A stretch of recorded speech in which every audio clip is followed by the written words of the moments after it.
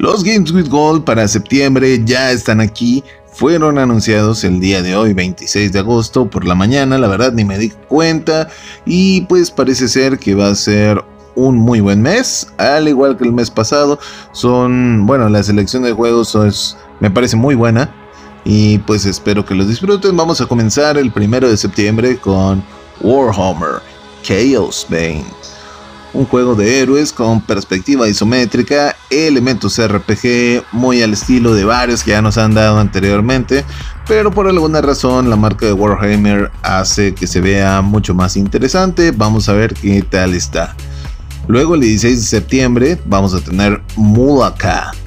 Este es un juego orgullosamente desarrollado por mexicanos, tiene un corazón mexicano, ya que está inspirado en la cultura tarahumara así que verás muchas referencias muy familiares de la historia mexicana. Te lo recomiendo ampliamente y si puedes cómpralo, hay que apoyar el talento mexicano. Para el lado clásico, el 1 de septiembre tenemos Son of the Enders HD Collection.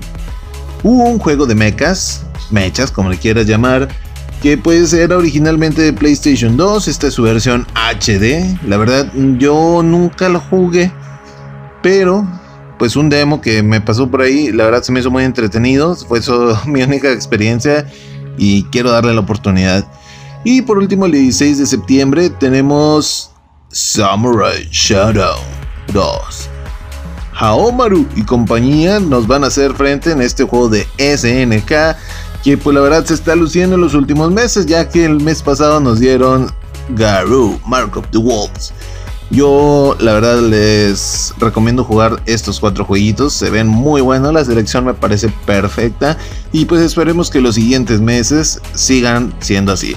Muchas gracias por haberme acompañado y nos vemos en la próxima.